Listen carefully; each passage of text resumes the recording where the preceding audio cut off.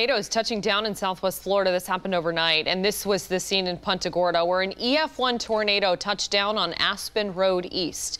The storm going through one family's yard, destroying their barn, sending chunks of metal flying, even cutting their horses loose. A lot of memories of this barn. Had it ever since I was 13. Now it's gone. Went out with him. We and the other horses were loose running around and it's very dark. Well, the storm also flipping the family's truck over on its head. All the family's animals are expected to be okay, though one duck was lost. The family says they're working to clean up the mess and rebuild. And